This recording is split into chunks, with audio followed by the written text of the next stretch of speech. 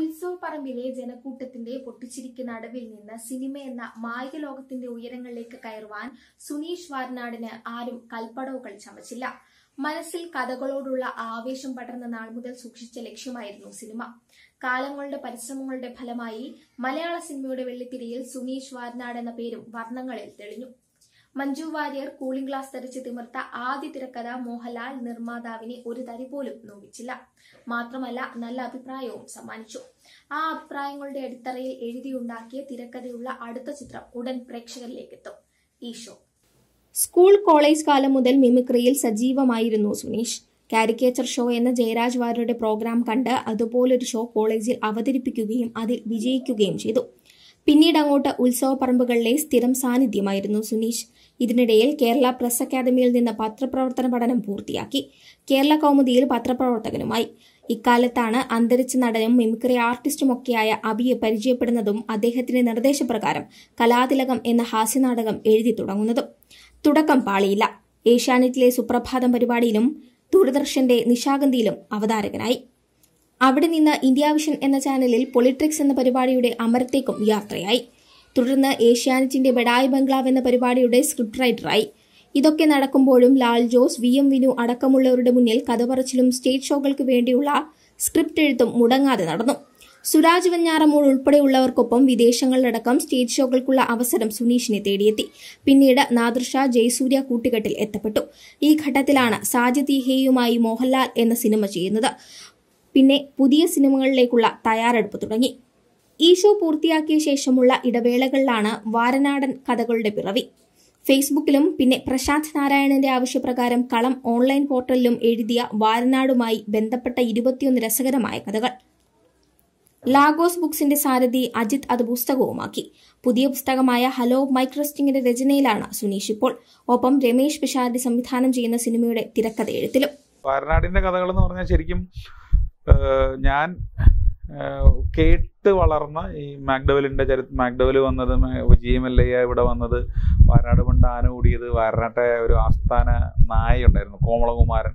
അപ്പോൾ ഇങ്ങനത്തെ കുറെ നാട്ടുകഥകൾ ഞങ്ങൾ കൂട്ടുകാർ തമ്മിൽ കൂട്ടം ചേരുമ്പോൾ പറഞ്ഞുകൊണ്ടിരുന്ന നാട്ടുകഥകളാണ്. ആ കഥകൾ ഞാൻ പലപ്പോഴും പുറത്തൊക്കെ വിദേശ രാഷ്ട്രങ്ങളിലൊക്കെ പരിപാടിക്ക് പോകുമ്പോൾ മലയാളികൾ കൂടെ കൂടുമ്പോൾ അവർക്ക് നാട്ടുകഥകൾ കേൾക്കാൻ ഭയങ്കര ഇഷ്ടമാണ്. അപ്പം ഞാൻ പ്രസന്റ് ചെയ്യുന്നത് ഒരു ഹ്യൂമറിന്റെ അകമ്പടിയോടുകൂടി പ്രസന്റ് ചെയ്തിരുന്ന കഥകളാണ്. അപ്പം അതെല്ലാം ശരിക്കും എഴുതി എഴുതി അപ്പൊ ഇത് എഴുതുന്നോറും ഒരുപാട് അഭിപ്രായങ്ങൾ വന്ന് അങ്ങനെ ഞാനിത് കളത്തിലൊരു പത്ത് പതിനാറ് കഥകളോളം കളത്തിലും പിന്നെ ഒരു കളത്തിലും ഫേസ്ബുക്കിലൊക്കെ എഴുതാത്ത ഒരു ആറേഴ് കഥകൾ കൂട്ടിച്ചേർ അഞ്ച് കഥകൾ കൂട്ടിച്ചേർത്തിട്ട് ഇരുപത്തിയൊന്ന് കഥകൾ ചേർത്തിട്ടാണ് വാരനാടൻ കഥകൾ എന്ന പുസ്തകമാക്കിയത്. ഇത് അവതാരിക എന്റെ ഗുരുസ്ഥാനികനായ ജയരാജ് വാര്യരാണ്.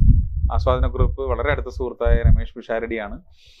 ഇതിന്റെ ചിത്രങ്ങളൊക്കെ വരച്ചത് വളരെ പ്രഗത്ഭനായിട്ടുള്ള ഒരുപാട് ഇത്തരം വലിയ പുസ്തകങ്ങൾക്കൊക്കെ ചിത്രങ്ങൾ വരയ്ക്കുന്ന മുരളീധരൻ കറ്റാനം എന്ന് പറയുന്ന ആളാണ് ചിത്രം വരച്ചിരിക്കുന്നത്.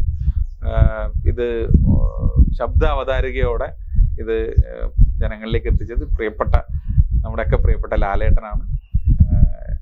എന്റെ ആദ്യ സിനിമയിലെ നായികയും വളരെ അടുത്ത സുഹൃത്തുമായ മഞ്ജു വാര്യരുടെ ഒഫീഷ്യൽ പേജിലാണ് ഇത് ശരിക്കും റിലീസ് ചെയ്തത്. നമുക്കിതൊരു വെർച്വൽ റിലീസ് മാത്രമേ നടത്താൻ പറ്റിയിട്ടുള്ളൂ. പക്ഷെ ഇത് ഒരുപാട് പേർക്ക് ഇത് വായിച്ചിട്ട് അവരുടെ അഭിപ്രായം പറയുന്നത് വെച്ചാൽ നമ്മൾ ഈ കഥ പറഞ്ഞു ചിരിപ്പിക്കാൻ എളുപ്പമാണ്. അല്ലെങ്കിൽ നമ്മൾ എളുപ്പം എളുപ്പം ഇൻ ദ സെൻസ് എളുപ്പമൊന്നല്ല. കഥ പറഞ്ഞ് ഒരാൾ നമുക്ക് പറഞ്ഞ് നമ്മൾ സ്റ്റേജിലൊക്കെ നിന്ന് നമ്മളൊക്കെ പെർഫോം ചെയ്യുന്ന ആൾക്കാരായതുകൊണ്ട് നമുക്ക് പറഞ്ഞ് ചിരിപ്പിക്കാം. പക്ഷെ അത് ഈ എഴുതി പിടിപ്പിക്കുന്നതിലാണ് പ്രശ്നം. നമ്മൾ സീനുകളായിട്ടല്ലല്ലോ ഇതൊരു കഥ പോലെ എഴുതുകയാണ്. അപ്പം അത് ആ ഒരു ഒരു ക്രാഫ്റ്റ് ഇതിനകത്ത് നന്നായി വന്നു എന്ന് കുറെ പേര് പറയുമ്പോൾ അല്ലെങ്കിൽ വായനക്കാർ പറയുമ്പോൾ വലിയ സന്തോഷം തോന്നി. അതും സംവിധായകൻ സിദ്ദിഖ് സാറ് പറഞ്ഞു. അങ്ങനെ വളരെ പ്രഗത്ഭരായിട്ടുള്ള കുറച്ച് എഴുത്തുകാർ ഈ പുസ്തകത്തെക്കുറിച്ച് നല്ല അഭിപ്രായം പറയുമ്പോൾ ആദ്യ പുസ്തകം എന്ന രീതിയിൽ ആദ്യമായിട്ട് എഴുതുന്ന ഒരു കുറച്ച് കഥകളുടെ ഒരു ഒരു കൂട്ടം എന്ന രീതിയിൽ വലിയ സന്തോഷം തോന്നി അഭിമാനം തോന്നി. മാത്രമല്ല ഇതൊരു വളരെ ലളിതമായി വായിക്കാവുന്ന ഒരു പുസ്തകമാണ്. ഇതൊരു സാഹിത്യത്തിന്റെ ഭയങ്കരമായ ഏച്ചുകെട്ടലുകളോ ഒന്നുമില്ല ഒരു സ്കൂൾ കുട്ടികൾക്ക് പോലും വായിക്കാം. വായിക്കാം ഇതിൽ നിന്ന് ഉണ്ടാവുന്നത് ചിരിയാണ്. ആത്യന്തികമായി അവസാനം ചിരിക്കുക ചിരിപ്പിക്കുക അത് മാത്രമാണ് ഈ പുസ്തകത്തിന്റെ ഉദ്ദേശം. അപ്പൊ ഈ പലരും പറഞ്ഞത് ഇപ്പോഴത്തെ അവസ്ഥ. ചില ഡോക്ടർമാർ സുഹൃത്തുക്കൾ അവരൊക്കെ പറഞ്ഞതെന്ന് വെച്ച് കഴിഞ്ഞാൽ അത്രയും ടെൻഷനിൽ ജോലി ചെയ്യുന്ന ഒരാൾക്ക് ഇത് വായിച്ചു കഴിഞ്ഞാൽ ഭയങ്കര റിലാക്സ് ആവും. നീ അത് നീ ഒരു പുണ്യപ്രവൃത്തിയാണ് ചെയ്യുന്നത്. അപ്പൊ ഞാൻ പറഞ്ഞൊരു കാര്യം ചെയ്യും.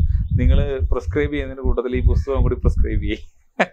തമാശക്ക് പറഞ്ഞാണെങ്കിലും പക്ഷെ അത്തരം നമ്മൾ എഴുതുന്ന ചില കാര്യങ്ങളിലൊക്കെ നിഷ്കളങ്കമായ നർമ്മം ചിരി ചില ആളുകളുടെയൊക്കെ ജീവിതത്തിൽ ഇങ്ങനെയൊക്കെ പോസിറ്റിവിറ്റി കുറച്ച് സമയമെങ്കിലും കൊണ്ടുവരാൻ കഴിയുമെങ്കിൽ ഞാൻ നമുക്ക് ദൈവം തന്ന അക്ഷരങ്ങൾ കൊണ്ട് നമുക്ക് ദൈവം തന്ന സാഹിത്യവാസന കൊണ്ട് ഒരുപാട് അഭിമാനവും സന്തോഷവും തോന്നും.